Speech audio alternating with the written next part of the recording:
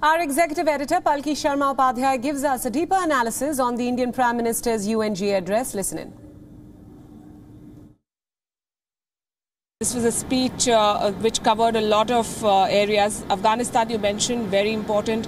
You could say that in this speech, the Prime Minister, without naming any country or party, had clear messages for three, uh, what shall I say, threats uh, three countries, three entities that pose a threat to the world. One was Afghanistan, uh, ruled by the Taliban right now. He said that Afghanistan should not be allowed to become a safe haven for terrorists, and countries uh, should not see this as an opportunity to further their own agenda and use, uh, quote unquote, the delicate situation in Afghanistan. That's how he put it. The second message directly was for countries like Pakistan. He said that there are countries uh, that use uh, uh that that uh, use regressive thinking, extremism uh, and uh, terrorism as a political tool, and they must know that terrorism will come back to hurt them as well.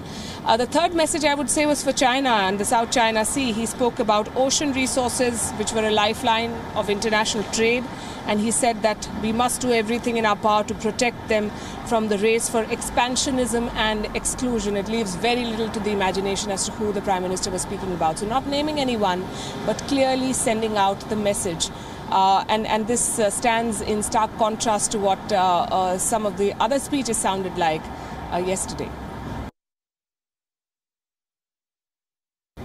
Absolutely. This is something that India has been pushing for for a long time, and rightly so. The United Nations was formed more than seven decades ago. A lot has changed, a lot of water has flown under the bridge, and it's time for uh, the United Nations too to show some reform uh, and, and uh, give countries like India, uh, uh, the rising powers in the world, countries that do the heavy lifting when it comes to delivering on, on common goods, as they call it, to give their rightful place uh, at the UNSC table. That's something that India has pushed for.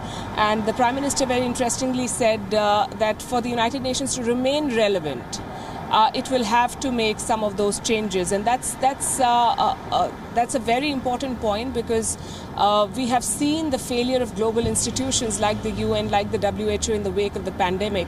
And what is the point of having this heavy bureaucracy the world over when it fails to deliver at the right time? The United Nations needs reforms. The United Nations needs expansion.